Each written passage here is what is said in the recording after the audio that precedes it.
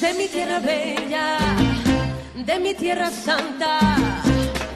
Hoy ese grito de los tambores y los timbales al cumbacha.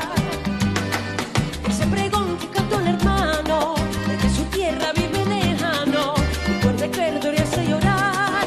Una canción que vive entonando, su dolor de su propio llanto, y se le escucha venar.